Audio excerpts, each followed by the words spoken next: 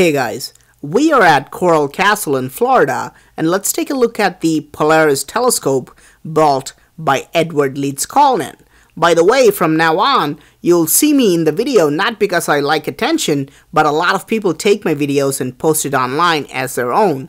So I hope this will stop it and my name is Praveen Mohan. Now, the telescope is unique because it is the world's only megalithic telescope and this rock weighs a massive 23 tons and stands 25 feet tall. Imagine a 100 pound man with a fourth grade education single handedly lifting 46,000 pounds.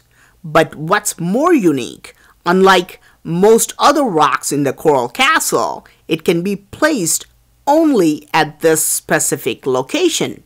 Ed had to be extremely precise and one inch to the right or one inch to the left would make this telescope pointless. Let's use this telescope to understand how it works. Here's a triangular eyepiece with a hole drilled on it. All you have to do is line up the hole in the eyepiece and the hole in the telescope. But we don't see anything because it's broad daylight. But on a clear night sky, you'll see the North Star in one of the four quadrants. Polaris is simply another word for the North Star. You can not only see the North Star, but you can also calculate the four seasons because the North Star will rotate among the quadrants depending on the seasons. During winter, you will see the North Star in the top right. It'll move to the top left during spring, will descend to the bottom left during the summer and to the bottom right during fall. Is there a way to see the North Star even during daytime?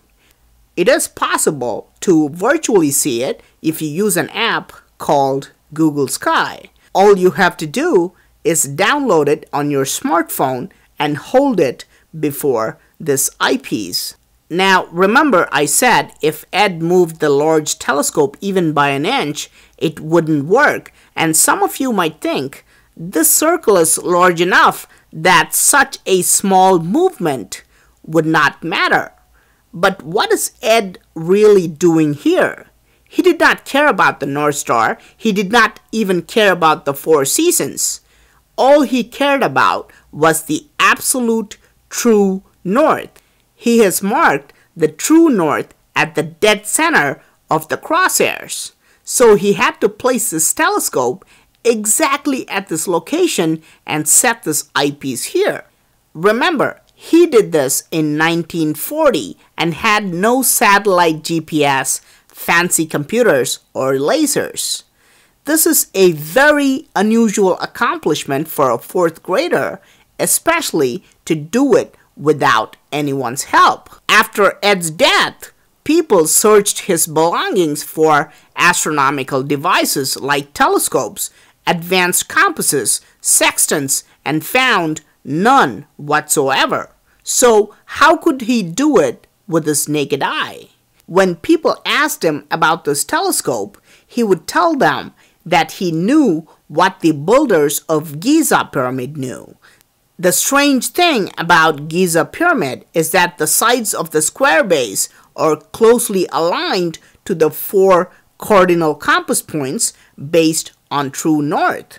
And the ancient Egyptians could create this 4,500 years ago, apparently without any modern equipment, just like Ed did. Now, if that's not enough, I just realized that Coral Castle itself is perfectly aligned with the four compass points based on true north. Is it humanly possible to construct an entire castle which weighs more than 1100 tons without the help of other humans, pack animals, or advanced technology?